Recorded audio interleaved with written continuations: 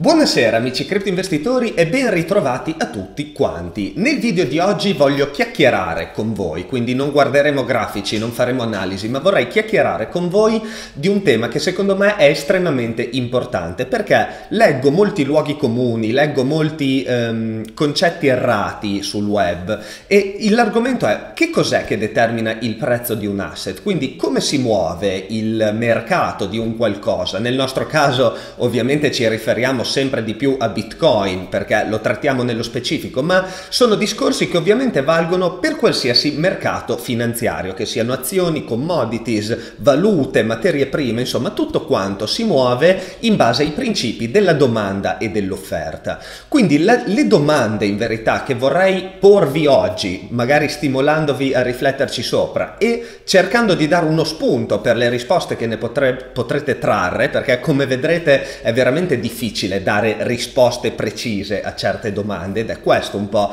il bello del mercato, che non è predicibile.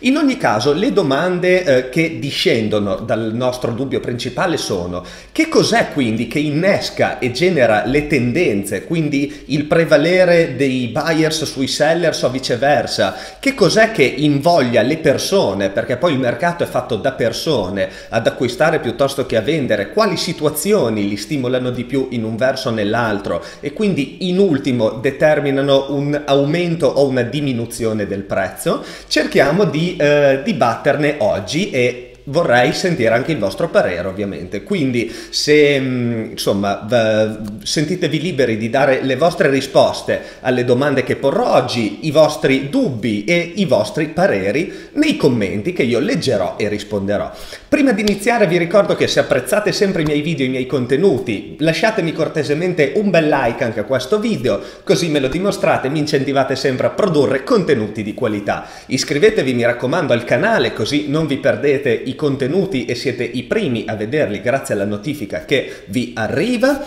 e iscrivetevi anche al mio canale Telegram e seguitemi sui social, trovate tutti i link in descrizione. Detto questo, passiamo all'argomento di oggi che vi voglio introdurre con una storia che ho letto su un libro eh, inerente al trading e all'investimento. Penso che sia un mito, però dicono che sia basato su fatti realmente accaduti. Parla di un trader di valute estere, un tale chiamiamolo Jimmy, che arriva sempre presto nella sua trading room al mattino in una banca o quello che è un, nel, nell'istituzione. Lui ovviamente è un trader molto facoltoso. Arriva lì prima perché così si legge i, i giornali, l'Economist, va a cercare un po' di notizie, cerca di capire un po' come si aprirà la sessione londinese, ovviamente perché lui è inglese, del mercato. E una bella mattina appunto va lì nella sua trading room, legge l'Economist e vede una notizia positiva sullo yen giapponese, vede che il Giappone vuole alzare i tassi di interesse, vede che comunque l'import-export è ai massimi storici, che un, sta adottando una politica economica fiorente e quant'altro.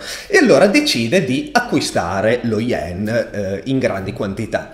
Quando arrivano, iniziano ad arrivare i suoi colleghi, gli va a dire ma guardate ho visto questa cosa, queste notizie, insomma io ho acquistato buone quantità di yen e allora anche loro acquistano quantità eh, grandi di yen perché ovviamente sono tutti dei trader molto facoltosi che operano per fondi, insomma muovono milioni, milioni di dollari.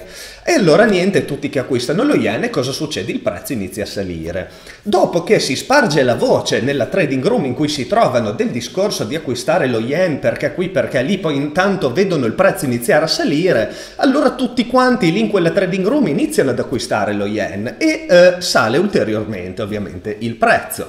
Dopodiché la sessione apre e spalanca le porte, diciamo così, a tutti i traders della nazione di, di quel fuso orario e ovviamente vedendo vedendo un incremento del prezzo dello yen, allora tutti quanti si buttano dentro e acquistano anche loro cercando di seguire per l'appunto la tendenza.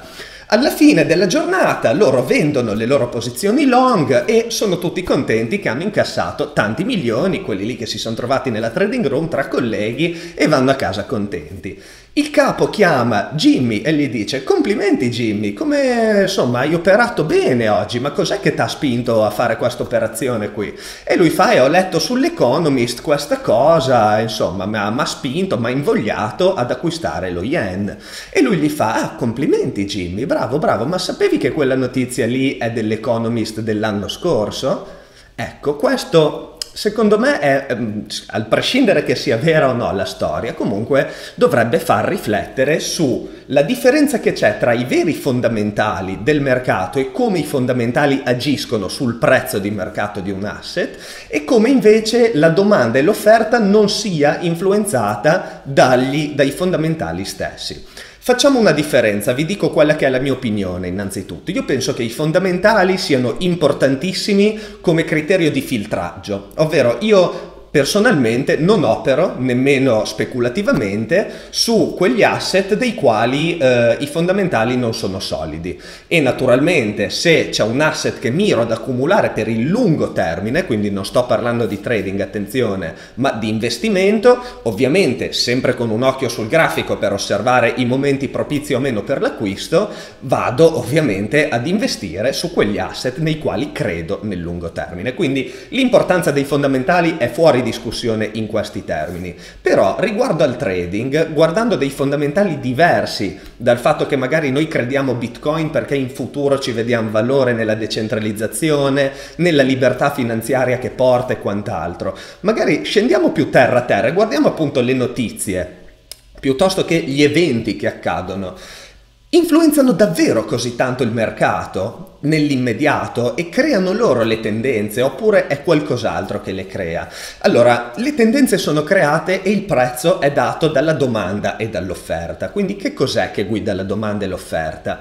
Persone, perché siamo io, siete voi, sono gli hedge funds, sono le istituzioni, sono insomma tutti coloro che fanno parte del mercato che acquistano e vendono. Laddove domanda e offerta si incontrano abbiamo il prezzo, quindi ovviamente questo è l'ABC poi dell'economia, laddove c'è più domanda il prezzo aumenta, laddove c'è più offerta il prezzo diminuisce. Ovviamente al crescere della domanda significa che più persone vogliono acquistare, crescere dell'offerta significa che più persone voglio, vogliono vendere e ovviamente le due condizioni combinate esacerbano il tutto, ovvero se meno persone vogliono vendere, quindi la, la, l'offerta diminuisce e tante persone vogliono comprare, quindi la domanda aumenta parecchio, allora il prezzo aumenta in maniera più repentina e viceversa. Qui non penso di avervi detto niente di nuovo, sono appunto i principi base dell'economia della domanda e dell'offerta.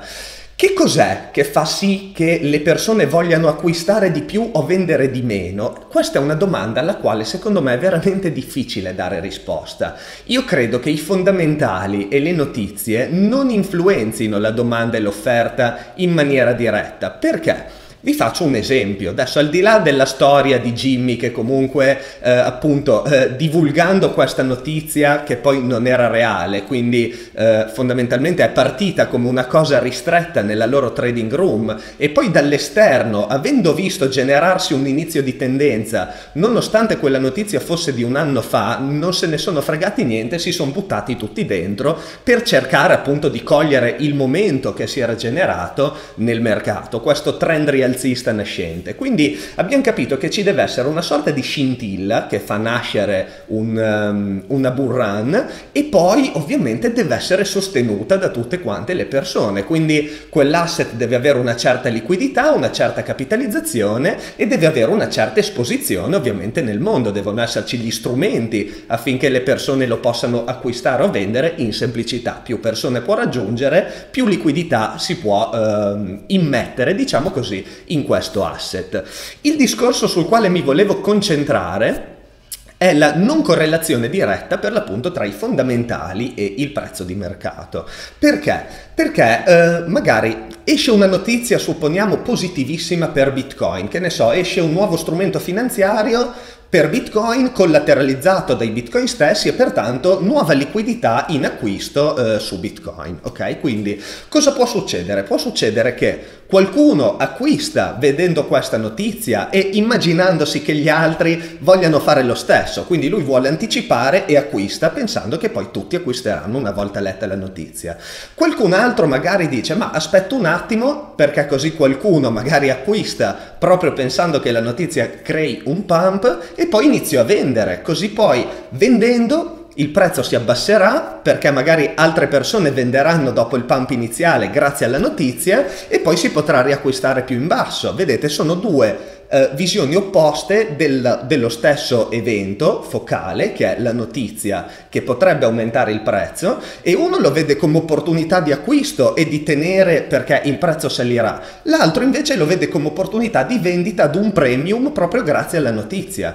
E quindi chi è che avrà la meglio? Ovviamente chi avrà maggior capitale, quindi attenzione perché qua c'è quella divisione tra i cosiddetti smart money e dumb money che fa la differenza, ovvero se uno ha capitali maggiori e muove capitali maggiori, influenzerà il mercato in maniera molto maggiore del retail trader che magari vede la notizia, ci crede e compra. Mille retail trader magari fanno un uh, capitale grande, ok? Quindi se quel capitale grande decide di svenderci in testa, allora abbasserà il prezzo così come lo possono alzare mille persone retail, ok? E qua è la differenza nel potere d'acquisto e di vendita che ognuno ha, chiaramente, dipendente soltanto dal capitale. Questo è un esempio.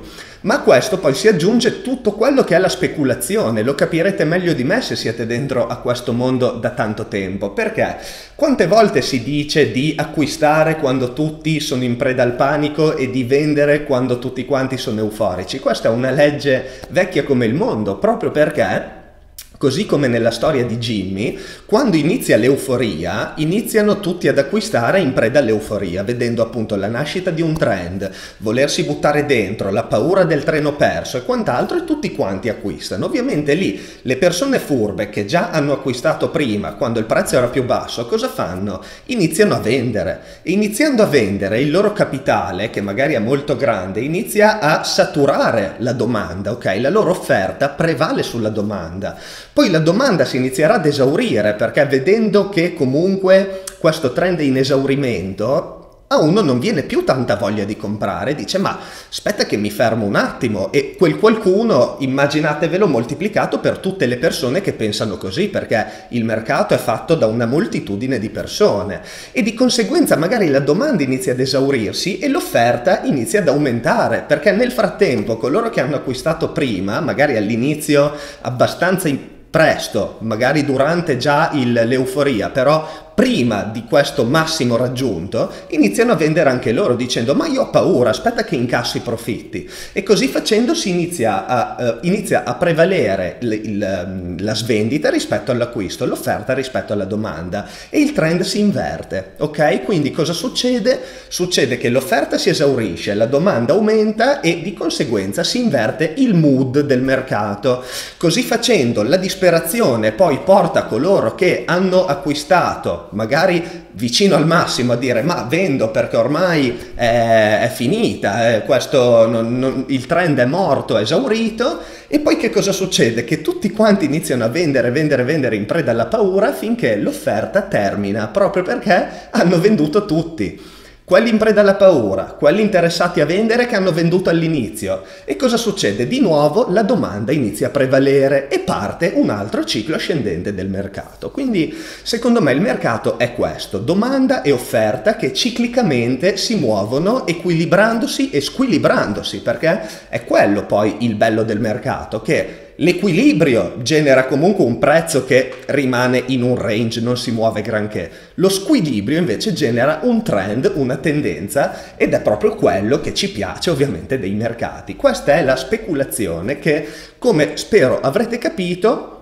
è, dif- è, molto differente dai fondamentali perché addirittura può andare in controtendenza con i fondamentali. Può esserci un momento in cui le news sono più positive che mai, però nonostante ciò siamo in, in un downtrend esagerato. O il caso opposto, Guardate la, la, bolla, ad esempio, delle dot com dell'inizio degli anni 2000. Le aziende eh, dot com, le aziende high tech, non è che stessero capitalizzando chissà quanto, cioè nel senso di fatturare, però nonostante ciò i prezzi delle loro azioni continuavano a salire, salire, salire, perché c'era aspettativa, c'era speculazione e questo ovviamente può essere sostenuto fin tanto che non arriva l'offerta a sopperire la domanda e a invertire ovviamente il mood nei confronti di quell'asset lì. Quindi questa è la speculazione. Termino il discorso eh, dicendo, aggiungendo un termine un po' più tecnico, diciamo, anche quello in realtà non è molto tecnico, ma è un gergo che si usa nel trading, che è la cosiddetta Greater Fool Theory. Cosa significa? Significa che il prezzo continua ad aumentare di un asset fin tanto che c'è un greater fool, quindi uno ancora più folle, che è disposto ad acquistare ad un prezzo ancora più alto. Quando la domanda si esaurisce, quindi non ci sono più greater fools disposti a pagare di più per quell'asset, allora lì ci sarà il greater fool in assoluto, che è quello che ha comprato al massimo raggiunto dall'upper shadow della candela, e dopodiché arriverà l'offerta ad inondare il mercato e a invertire la tendenza e quel greater fool si renderà conto di essere quello che è. Spero che questa, questa, piccola digressione, diciamo così, un po' colorita sulla domanda e sull'offerta vi sia risultata di interesse. Ve l'ho detto, ditemi la vostra, ditemi cosa ne pensate, ditevi, ditemi cosa secondo voi muove il prezzo di più del resto. Detto questo, vi saluto e mi raccomando, ci vediamo mercoledì per la puntata numero 3 di Trading Consapevole. Non perdetevela e buona serata a tutti quanti.